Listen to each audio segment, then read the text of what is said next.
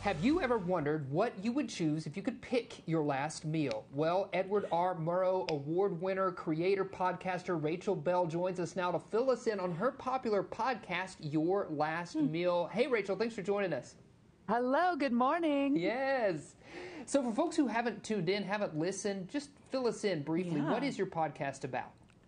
Yeah, so it's kind of all in the title. I'm asking people about their last meal, but more specifically, I talk to celebrities about their last meal. So uh, we talk about their lives, their careers, we talk about food in general. And then the big question is, what would you choose for your last meal? It is not intended to be morbid. It is actually a very fun show, uh, and it's a way to get to know people through something as intimate as food.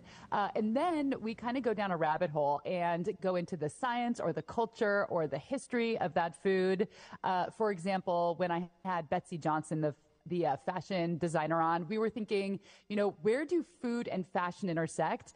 And we ended up booking the designer who created Lady Gaga's infamous meat dress. Uh, so that's kind of how we string things together. And fun fact about that. He actually consulted his butcher, his family's butcher in Argentina, and that meat dress was ironically made from skirt steak. Oh, of course. Interesting. Of course. Okay. Of course it was.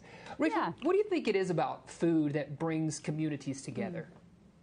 Well, the thing that I have found to be so interesting about doing the show is looking into the history of food because people like to use the word authentic a lot. You know, this is authentic, this is not authentic, uh, especially about foods like Chinese food, Mexican food. And when you start to look into the history, there is no such thing as authentic, like al pastor, which is something that people think of for Mexican food. That came from immigrants from the Mediterranean. You know, it started out as beef because they were Muslim. It turned into pork. It started from pita. It turned into tortillas. So I I think the thing, you know, beyond the fact that food tastes good and it's really fun to gather around a table and eat, it really does tell a lot about history. You know, a lot of stories are rooted in war, they're rooted in immigration, and you can learn a lot about people and cultures by talking about food. Like my latest episode that just came out a couple days ago with legendary comedian Margaret Cho. Uh, her last meal is spam musubi. So we get into the history of spam, which you know, spam to some people, like in Hawaii, it is a delicacy. And,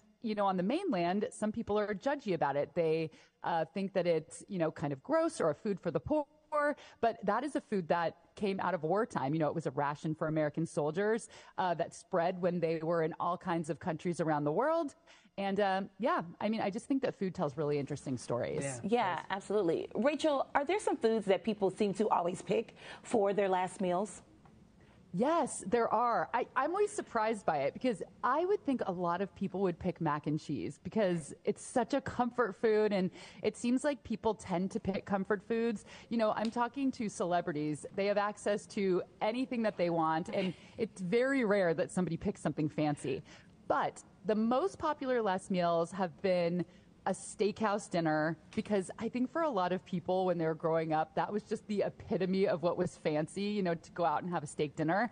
And then equally as popular is ice cream. Oh, yeah, of course. It makes a lot of sense. Yeah. Yes.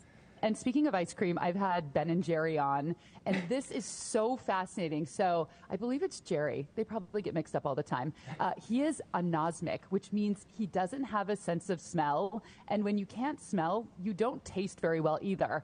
So that's the secret to why Ben and Jerry's ice cream is so chunky and has so many pieces in it, because that man can't taste anything, and he needs to rely on texture. And that's how they, you know, came up with their signature ice creams. Yeah, that's fascinating. You gotta rely on texture, all that chunkiness. That's Yeah. right, it's delicious. Mm-hmm. Rachel, before we let you go, fill us in on how we can tune into your podcast. Where can people listen? Yeah, you can listen to Your Last Meal literally anywhere you get podcasts. Uh, so just go to Apple or go to Spotify, and you can follow me on Instagram at Hello Rachel Belle. All right. Well, All right. It's, we're sad to say goodbye to Rachel Belle right now, but thank you so much for joining us. We appreciate your you. time. Absolutely. I didn't even get to hear your last meals. We'll have to do that next oh, time. Oh, next time we'll have to have you back on. We could talk about that. Oh, Thanks, yeah, for Rachel. sure, for sure. Yes. Man, she's got me thinking. What would you pick? I don't know. I don't know. Wheels are turning. Wheels are turning.